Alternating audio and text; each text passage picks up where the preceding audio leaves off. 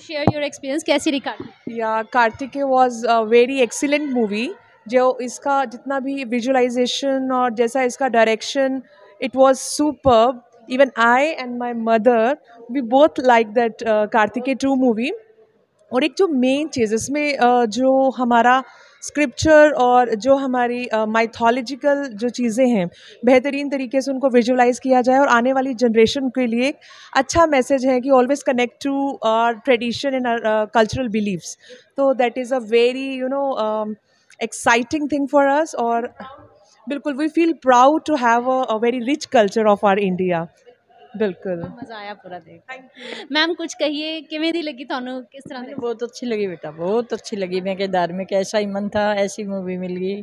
बहुत पसंद आई मैं तो यही बातें कर आ रही है। बहुत ऐसी ही मूवियाँ और बननी चाहिए। हाँ अच्छी बननी चाहिए। इसमें ही मेरी तमन्ना इसके लड़की की ऐसी तमन्ना है।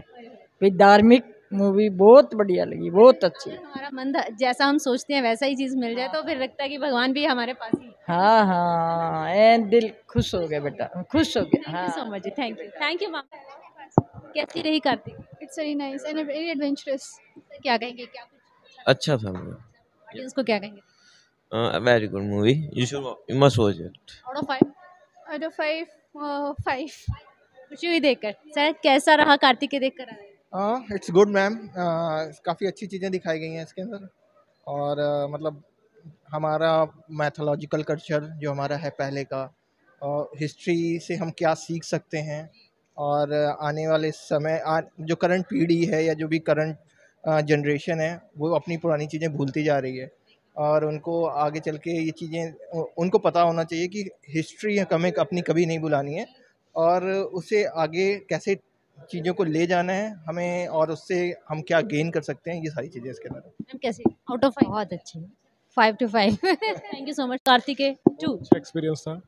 मतलब हिंदू हिस्ट्री कैसी है उसके बारे में जानने को मिलता है। जैसे कि आजकल एजेंडा चलाया जा रहा है कि हम हिंदू जो भूलते जा रहे हैं यार हम वेस्टर्न की तरफ़ ज़्यादा बढ़ते जा रहे हैं और जितने वेस्टर्न कंट्रीज़ है वो हमारे हिंदू ट्रेडिशन को फॉलो करने के लिए इंडिया आ रही है। जैसे आप वृंदावन जाके देख सकते हो वाराणसी जाके देख सकते हो वैसे एक हिस्ट्री याद दिलाई गई है कि एक जीने का तरीका है भागवत गीता और श्री कृष्ण के वैल्यूज़ को लेकर जो जीने का तरीका है एक सिर्फ़ माइथोडोलॉजी नहीं है ये।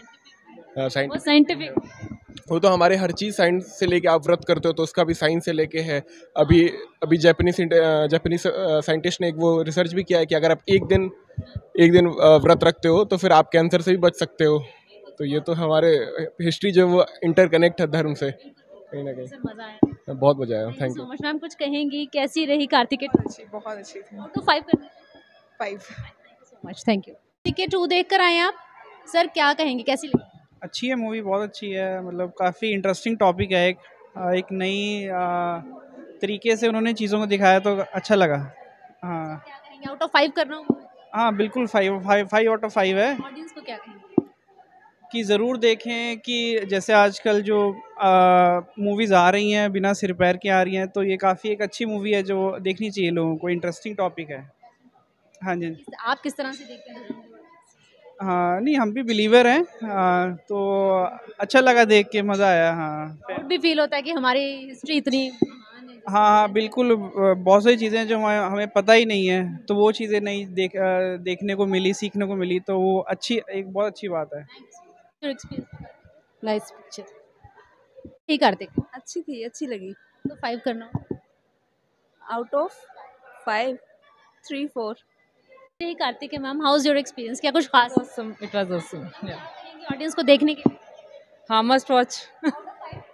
Uh, i think 6 कार्तिक के देख कर आ रहे हैं आप. कार्तिक के सर कैसा रहा एक्सपीरियंस क्या कहेंगे सर क्या कुछ खास जो ऑडियंस को कहना बहुत अच्छा मूवी है. ठीक है अच्छा लगा. हाँ based on based on miss Krishna के रिलेटेड ऊपर है? भगवान कृष्ण के ऊपर है? वो अच्छा है। अच्छा लगा देखकर। आउट ऑफ़ फाइव करना। Three point five